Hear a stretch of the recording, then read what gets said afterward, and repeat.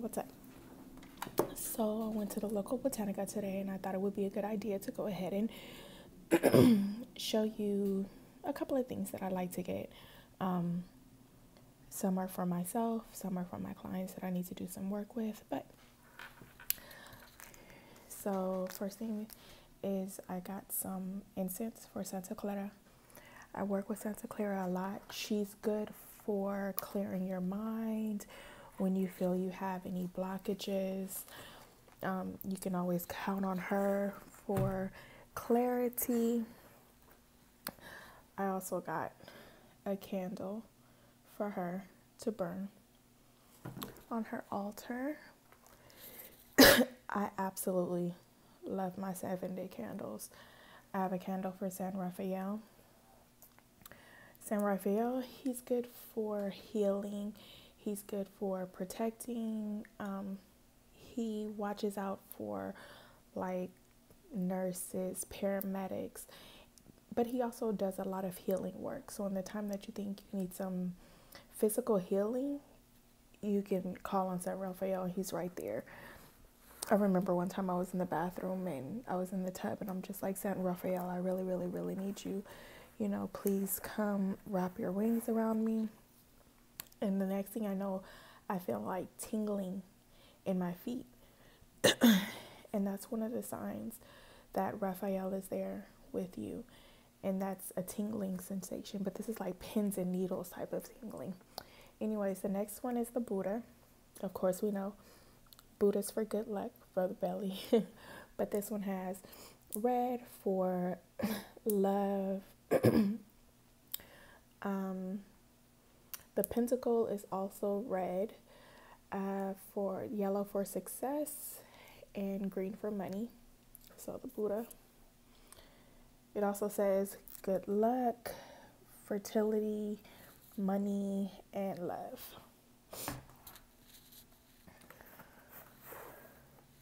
I have a chuparosa. chuparosa is like come to me, follow me. this is good for sugar daddy spells. It's also good for come to me spells, which takes me to the come to me oil. So, like with the chuparosa um, candle, it also has a prayer on the back if you want to use the prayer because with these candles, um, this is kind of like your petition on the front. It lets the ancestors, guardians, angels, whoever you work with, it lets them know what you're asking for. So, on top of your petition that you make and you put underneath, this is also your petition. Um, but like I said, I got some come to me oil. And this you can anoint your candles with, you can anoint your petition with. This one is red.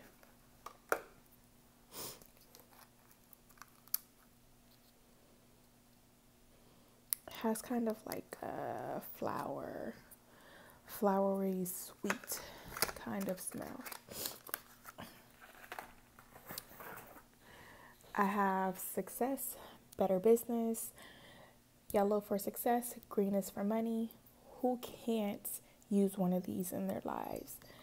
Anytime you have a business or just for work or anything and you think you need to bring in more money, more prosperity, more abundance, you can always light one of these candles, pray over it.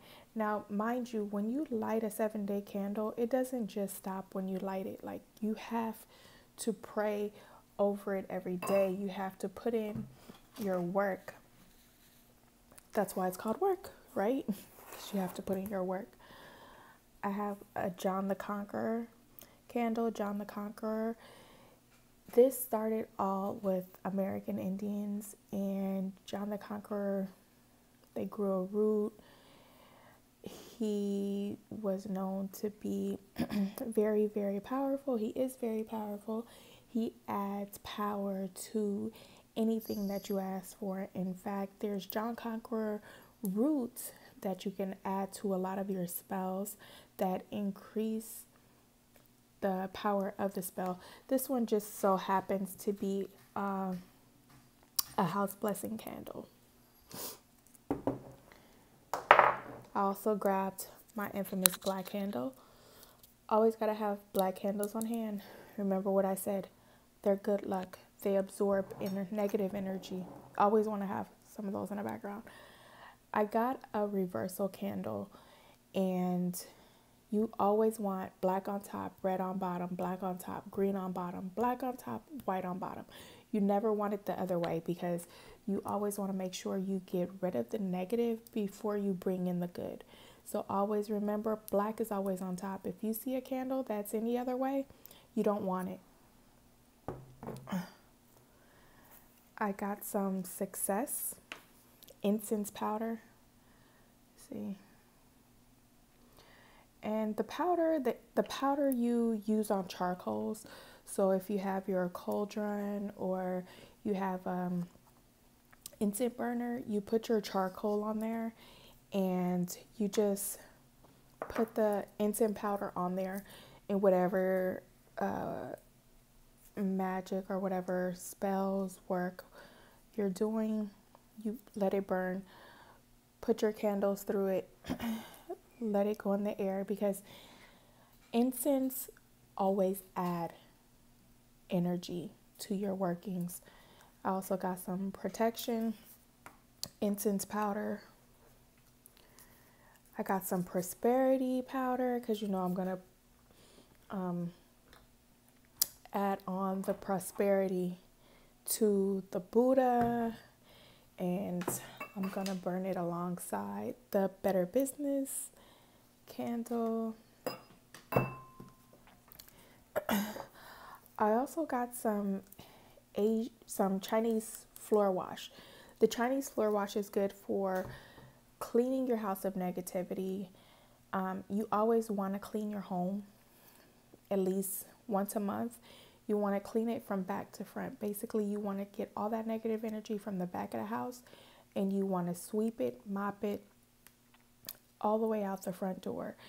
You want to clean your walls, especially when you're a spiritual worker, because so much energy is absorbed in your space that you want to continue to make your space as peaceful as possible because that's your safe haven.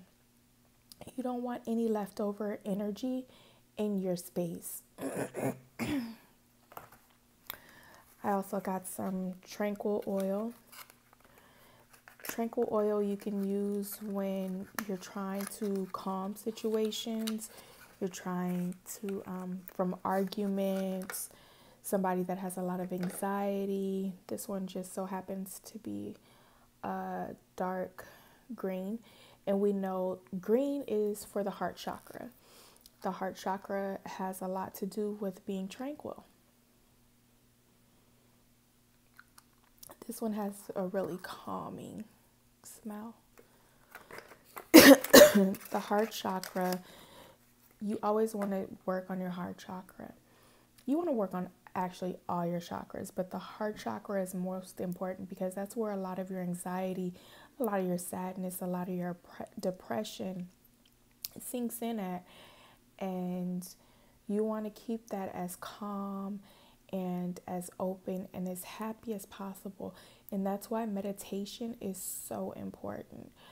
I meditate every morning, and if I can get it in every night for at least 10 minutes, I find that space and I just calm myself. And I let myself know this world, no matter how hard it is, it is a peaceful place. Let me stop because I know you guys aren't here for that. You want to know about my Botanica haul. I also got a Holy Cross candle for my ancestor altar. I always keep a white candle on their altar when I go and visit them. I visit them every day. I also give them ancestor money or hell money, hell notes. my archangel Michael, he's for protection. I always, always, always keep him. Let him know that he is appreciated for protecting me, for protecting my family, for guiding us. Bayberry. Bayberry is a herb that is good for prosperity.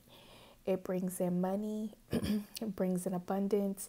This is one of those that you always want to make sure that you have on your altar, especially if you own your own business. You want to keep your money flowing in all the time. so sorry, sorry. I also have a cleansing candle, and as you can see, this has all the layers the red, the green, the red, the yellow, the blue, the pink, the purple, and the white. It's covering all my bases, it's cleansing everything. And I am always cleansing, I'm always protecting because as a spiritual worker, one thing you always have to do is protect yourself, you protect your family, you protect your money, you protect your cars, you protect your finances. Anything that the enemy can come in and and take from you, you want to make sure you're protected because if they can't get to you, they're going to break in some way. And that I refuse. But anyways, I try not to make enemies. I'm a lover, not a fighter. I also got this 33 Essentials, which covers everything. It covers road opener, it covers love me, it covers wealth, it covers um, destroy everything, abundance. This right here covers all the bases. One thing I also want you guys to know is when you buy candles, look at the bottom. You want to make sure that the bottom is in the middle because if it's not in the middle, you're going to have a bad burn. And you the last thing you want to do is be like, "Oh my god, I have all this black soot on my candle. It's not burning right. I'm going to have bad luck." When all it is is that the manufacturer didn't put the bottom in the right place, like it's all the way over here. So of course it's gonna burn closer to the glass. Always look, turn the butt over, look at the butt. And let's see, what else do I have over here? I just got some more single candles. White, green, yellow. Looks like I got some road opener work. um, but yeah, also when you get your candles, you want to make sure that you cleanse them. There's a couple of ways of cleansing your candles, and that's one with Florida water. But candles like this that are marked and have the screening on, Florida water, because it has alcohol, it will take that off. It'll smear it. So the ones that have the petitions that have the the drawings, the print on them, the best way to cleanse them is with holy water or sage them. You can also use Palo Santo and you just run them through the smoke and just, you know, I cleanse you of all negative energy from which you've been handled and leave behind all the goodness all the love, all the protection. You know, because your candles have been handled by so many people at the, the store, different customers, um, the manufacturers. Like, you don't know what kind of energy your candles are picking up, but all you want is the pure intention of that candle to be left behind. So, like I said, sage, Palo Santo, Florida water, Florida water if it's a candle like this or like this. Then you can use the Florida water and not worry about anything coming off of it. Uh, yeah, so that was my little mini haul today. I love my Botanica that I go to because it's like a big ass, big warehouse. Sorry, don't mean to do the cursing yeah, so hopefully you like and subscribe, and I see my butterfly later.